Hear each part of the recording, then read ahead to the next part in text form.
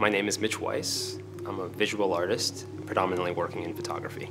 I think my earliest childhood memory with becoming interested in art and creativity was when I was maybe around four or five years old when my sister tricked me into believing that my drawings could be played on the piano. so each day I would come to her with a new composition or a scribble at that point and uh, it would be transformed into Bach. And I think at that, at, at, that moment it made me realize that art was not just a selfish kind of activity, but it elicited response and interpretation.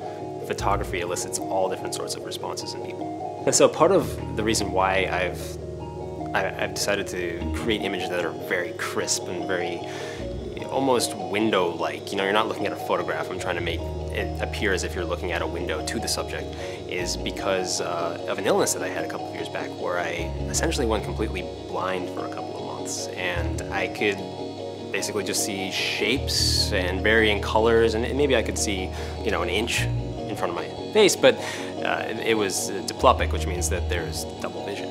And so I remember sitting on the hospital bed and thinking to myself, if I recover from this, I'm not going to let a single day go by without creating something. I think it forced that acuteness and clarity because I, I didn't have that for that period of time and just, just yearning for it and just imagining the clarity without actually being able to see clarity was the impetus. The viewer should see the photograph and not be distracted by the person who made it or the tools or the lighting or the lensing that went into it because it really is about the narrative and the story and the emotion that's being presented. Uh, I spend a lot of time traveling for photo shoots, so a lot of it becomes street photography when I'm not in the studio. So as much as I love lighting and really capturing the essence of a subject in studio, the fleeting capture of a narrative or an emotion on the street is just as powerful for me street photography can be seen as a, as a bit of a voyeuristic activity, but it's the most honest my mind.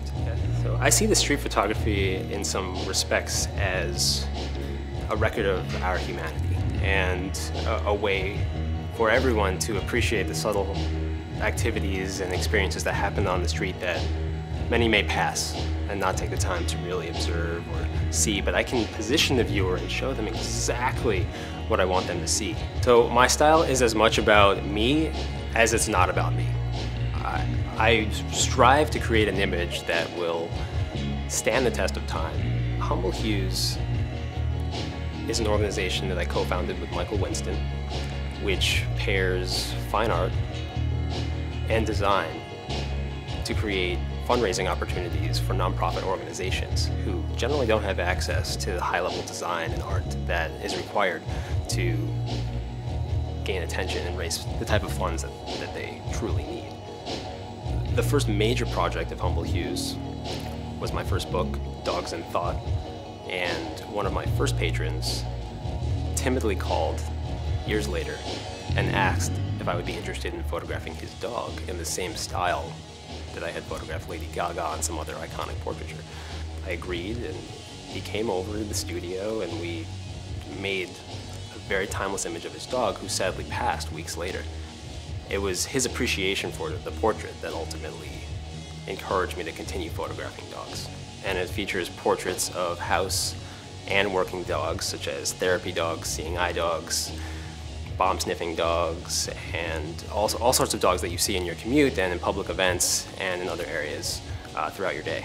The proceeds from the book go entirely to the MSPCA and the Animal Rescue League of Boston.